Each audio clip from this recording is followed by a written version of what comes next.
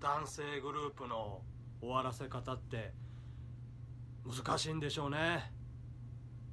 いや予期せぬ発表だったんで嵐の活動休止はびっくりしましたけども。まあでも男性でアイドルで40手前になってくるといろいろ考えるんでしょうね。昔よりアイドルの寿命というか年齢層はどんどんと高くなっても続けてる人多いですけれどもまあでもこのまま40代50代まで行くのかとかね考えたんでしょうしそして先輩でもある SMAP がああいう形での終わり方になってじゃあ俺たちはみたいなこともやっぱり考えたんだと思うんですよね。で2年の猶予をもっての発表やから全然あの無責任とかではないと思うんですけどね。むしろめちゃめちゃ責任ある形での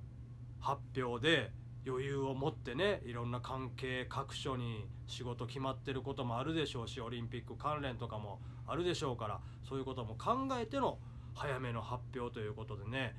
すごいなんか好感持てるななんて思いましたけどね。あのリポーターの質問はよく分からなかったですけども。うんやっぱりこれがバンドとなるとねそれも海外のものすごいビッグヒットを放ってるようなバンドやったら何年か活動しなくてもそれぞれソロでやっててもねまた5年ぶりにアルバムリリースとかで活動できるぐらいまでの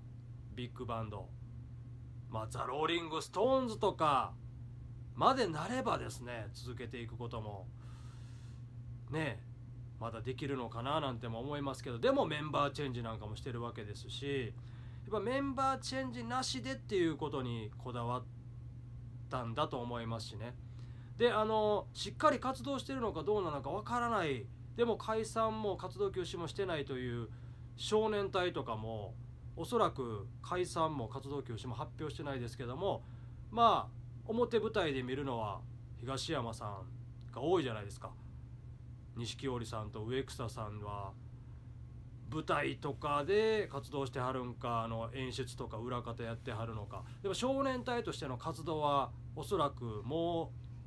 う何年もしてないと思うんですよね。だからどうなってんやろってファンがね、ずっとやきもきするよりもしっかりとした形で活動休止ということを発表してでまた